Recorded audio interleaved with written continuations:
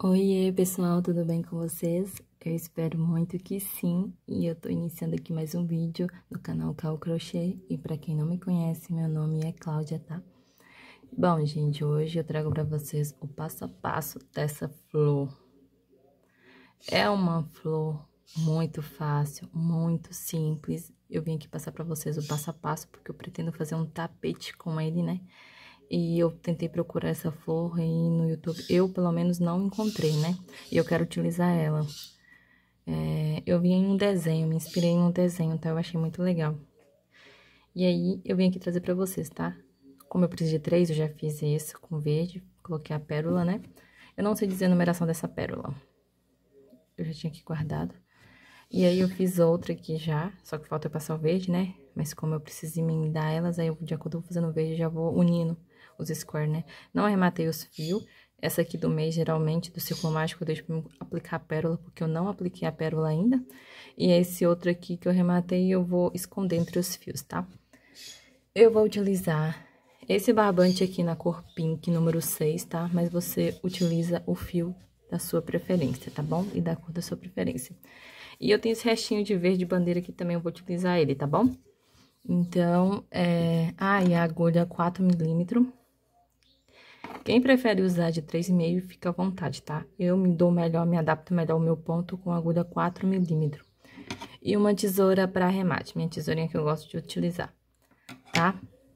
E esses são a lista de materiais. Então, vamos dar início ao vídeo. Bom, pessoal, vamos dar início aqui fazendo o círculo mágico.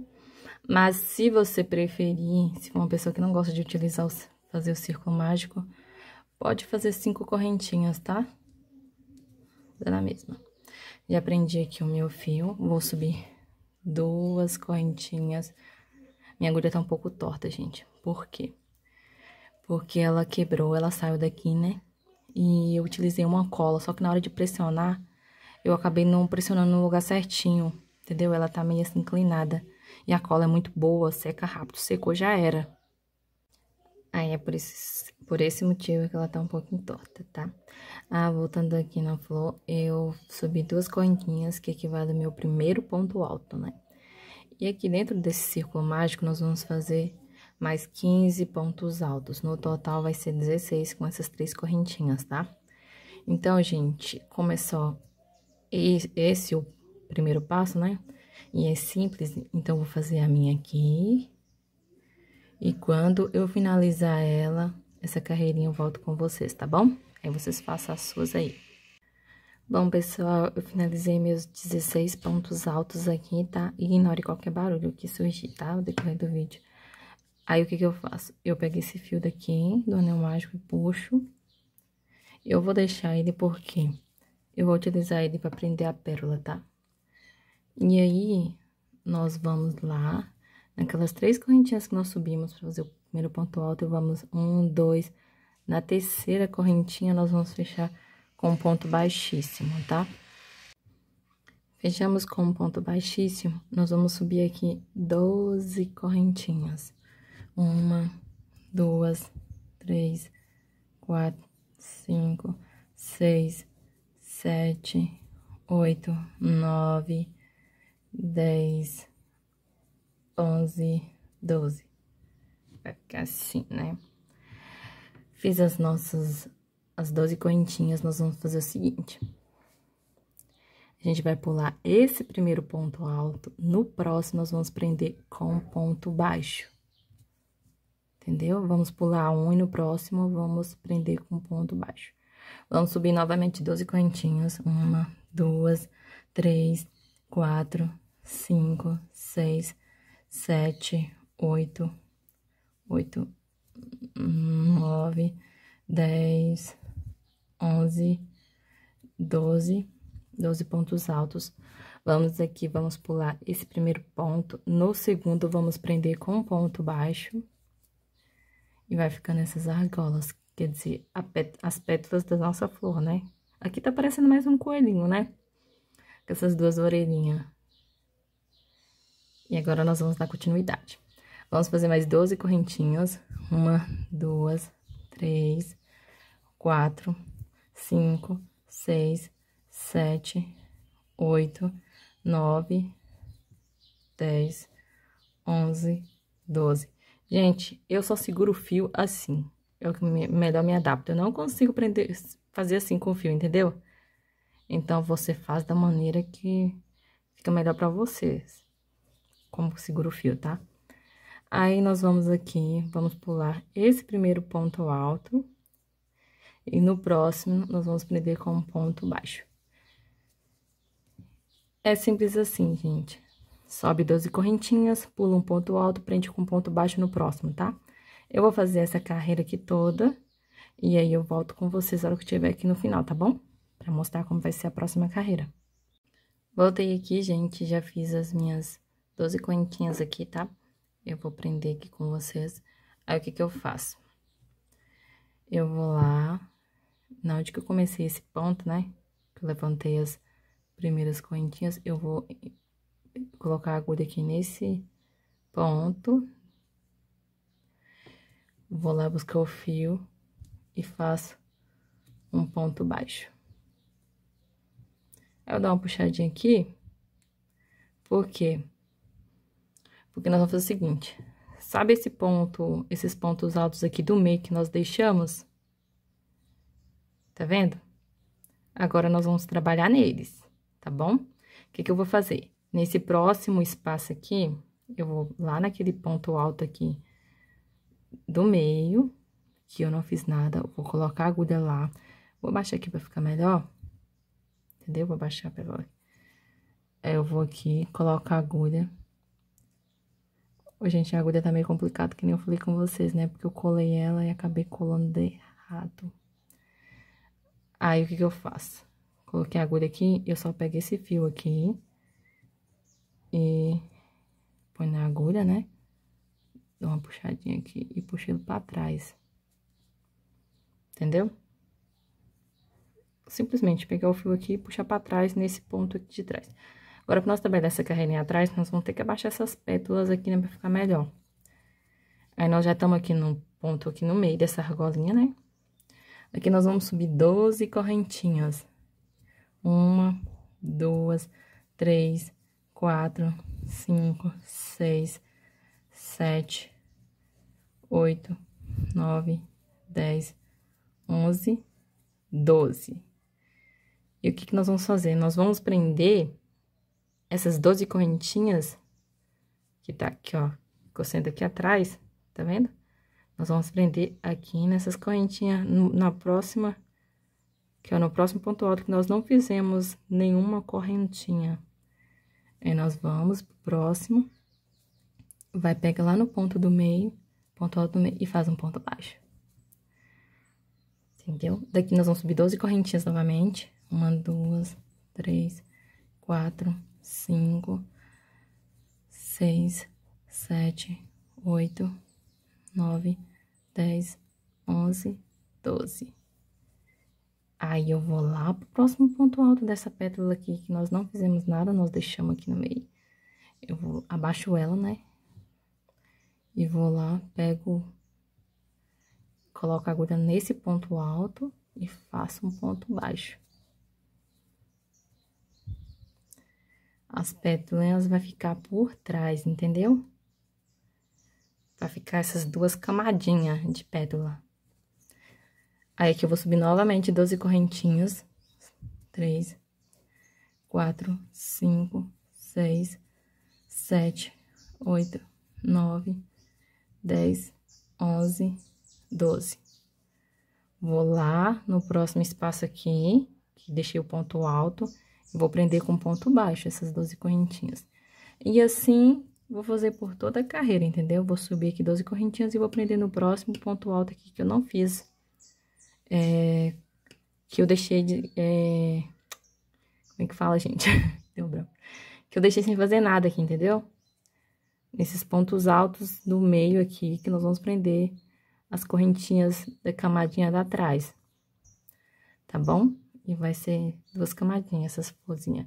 Eu gostei, gente, porque além de ser econômico, dá pra fazer com sobras de fio, dá pra fazer menor também, só diminuir as correntinhas, fazer duas camadinhas, três camadinhas, né? É, fica lindo. E é porque eu queria algo assim mais econômico, mais rápido e mais simples, entendeu? E assim, ia ter bonito, né? Eu gostei muito desse modelo, eu espero que vocês gostem, tá? Eu vou fazer até o final essa carreira e volto com vocês pra nós dar continuidade, tá bom? Voltei aqui, gente, fiz minhas últimas 12 correntinhas. Vou baixar essas pétalas aqui, né? E aqui já tá o nosso último... A primeira, a primeira carreirinha de correntinhas que nós fez aqui atrás, né? Eu viro aqui pra mim pegar nela mesmo, aqui embaixo. E vou pegar e fazer um ponto baixíssimo.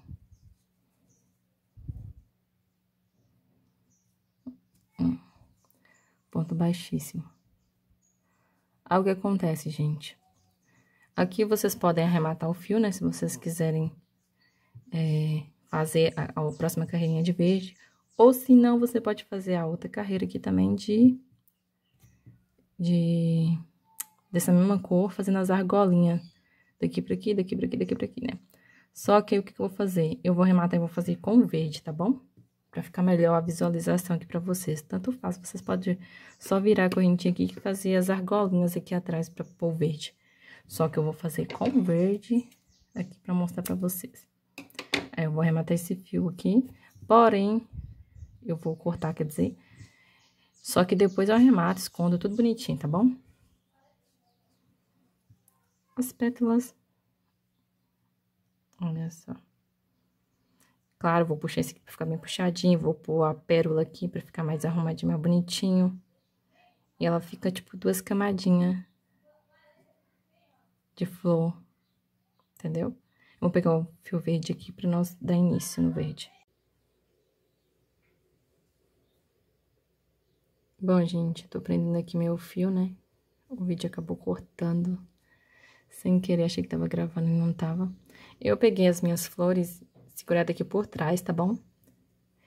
Peguei nessas argolinhas aqui atrás, nós fizemos as últimas pétalas, entendeu? As últimas pétalas eu peguei. Aqui nós prendemos com ponto baixo, né? Eu peguei a argolinha, que foi duas argolinhas desse ponto baixo, e prendi, fiz um nó, né? E prendi o fio aqui, e subi três correntinhas fazendo uma argolinha. E fui na próxima, no próximo ponto baixo que eu prendi uma, uma argolinha na outra, e prendi com ponto baixo. Fiz novamente cinco correntinhas. Aí, eu vou lá na próxima nas próximas argolinhas do ponto baixo que eu prendi aquelas correntinhas e vou fazer um ponto baixo. Vou subir cinco correntinhas novamente.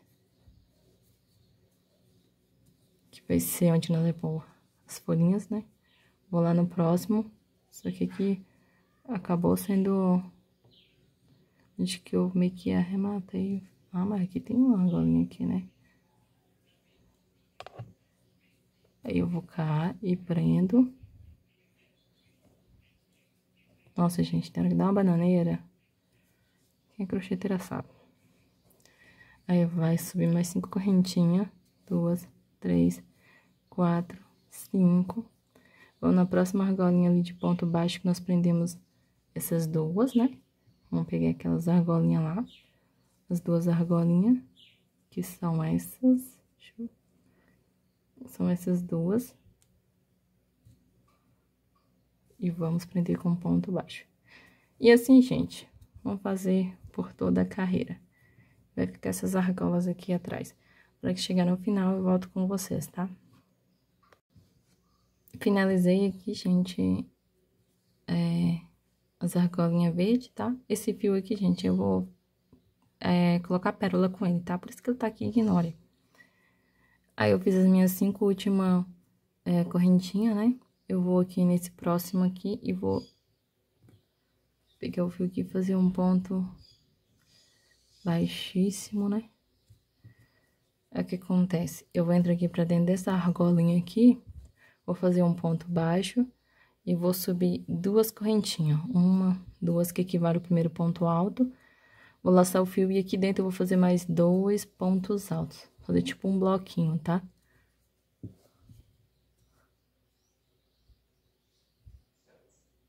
Dois pontos altos. Duas correntinhas de separação. No próximo, eu vou fazer aqui dentro um lequinho, tá bom? Os lequinhos vai ser nas, na ponta, vai ser quatro lequinhos, tá bom? Duas. três. Vou fazer duas correntinhas. E vou fazer mais um lequinho aqui. Uma, duas, três. Acabei de fazer, tipo, a minha primeira pontinha, tá? Primeira quininha. Agora, vou fazer duas correntinhas, uma, duas. Vou fazer só o bloquinho aqui, de três pontos altos. Uma, duas, três, duas correntinhas de separação. E agora, eu vou fazer um lequinho nesse próximo. Uma.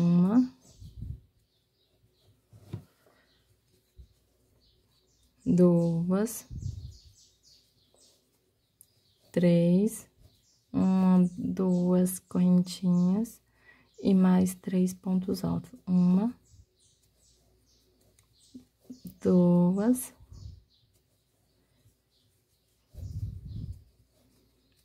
Três. Duas correntinhas de separação Aqui nós já fizemos meio que uma quina, tá vendo? Um lado, quer dizer. Esse aqui depois eu vou arrumar, viu, gente? Vai ficar embolado assim, porque eu acabo segurando assim pra ficar melhor de eu fazer os, a parte verde, tá bom? vou laçar o fio aqui, vou fazer só um bloquinho de três pontos altos na próxima argolinha. Uma, duas, três, duas correntinhas de separação. E aqui nós já vamos fazer um lequinho. Deixa eu ver aqui, gente. É, e aqui nós já vamos prender o fio. Vou fazer um lequinho, vou fazer só três pontos altos aqui para iniciar o lequinho e nós vamos prender o square, tá? No próximo, no, no square que eu já tenho aqui. Eu faço uma correntinha, tá bom? Gente, eu faço esse lado todo e esse aqui eu deixo pra me prender, que eu já termino, beleza? Aí, eu vou pegar essa parte aqui, o avesso, né? Vou colocar com por exemplo, o avesso desse daqui, que eu já tenho aqui pronto, tá? Aí, nós vamos pegar avesso com avesso. Nós vamos pegar essa parte verde aqui, tá vendo? Do escuro que a gente tem do lequinho, da quina, aqui nós já estamos fazendo um lequinho, né? Nós vamos pegar aqui e fazer um ponto baixo. Lembra que vai ser avesso com avesso. Um ponto baixo, vamos fazer uma correntinha. E aqui nós volta aqui pra finalizar o lequinho, entendeu? Uma duas. Ai, peraí, gente, bananei aqui. Um aqui, deixa eu posicionar aqui. Um. Dois pontos altos. Três. Fez três pontos altos, eu venho aqui, ó, já finalizei um lequinho, né? Tem um lequinho com um lequinho aqui de trás, tá vendo? Esses dois lequinhos aqui, e prendi. Aí, pra mim, pra esse próximo bloquinho, que vai ser de três pontos altos, eu fiz esse lequinho, vou lá na parte do meu square que já tá pronto, faço um ponto baixo, sem nenhuma correntinha, tá? Aí, eu já laço meu fio aqui e já vou pra esse espaço fazer o meu bloquinho aqui de três pontos altos. É meio dificultoso, dificultoso sempre, porque como eu tô gravando, né? Aí acaba ficando complicado. Uma, duas, três. Fiz o meu bloquinho aqui de três pontos altos, né? Que aí ficou os dois bloquinhos aqui junto, né? Desse e desse. Aí, que sem corrente nenhuma de separação, o que, que nós vamos fazer? Nós vamos aqui nesse próximo espacinho antes do leque, vamos prender com ponto baixo, né? E já vamos laçar o fio e fazer o nosso lequinho aqui uma, um, dois, três. Aqui já tá a parte do leque. Eu faço uma correntinha e vou aqui no outro leque e prendo com ponto baixo. Já laço o fio e já faço as três, os três pontos altos aqui pra finalizar o lequinho, tá bom? Um, dois, três, duas correntinhas de separação, e já vem aqui nesse bloquinho que eu iniciei e prendo na terceira correntinha com um ponto baixíssimo. Ó. Controlar o tamanho, né? Acabo fazendo um negócio errado. fechei com um ponto baixíssimo. E a nossa união ficou assim, ó. Tá vendo?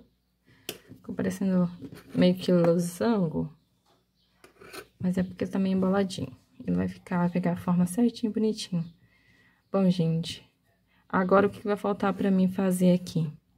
Que eu nem vou falar, fazer aqui com vocês, porque... Aí, deixa eu arrematar aqui esse fio, né?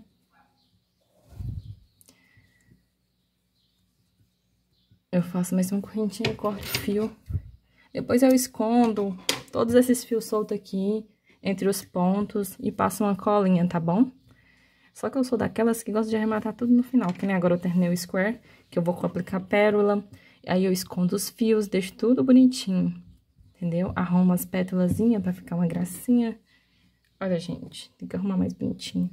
Sabe o que eu vou fazer? Pra vocês verem perfeitinhos como é que fica mesmo o passo a passo da aula foi esse, mas eu vou aplicar a pérola aqui, arrematar os fios e vim aqui só pra mostrar pra vocês o resultado, tá bom? Bom, gente, já apliquei a pérola. E a florzinha nossa ficou assim. Já fiz square. Logo, logo sai um tapete, tá? Tô pensando em fazer o passo a passo do tapete com esse square de flor. Mas não sei. Se eu não fazer o passo a passo, eu vou trazer no vlog pra vocês, tá bom? E o avesso, tá? E é isso. E até o próximo vídeo, se Deus quiser.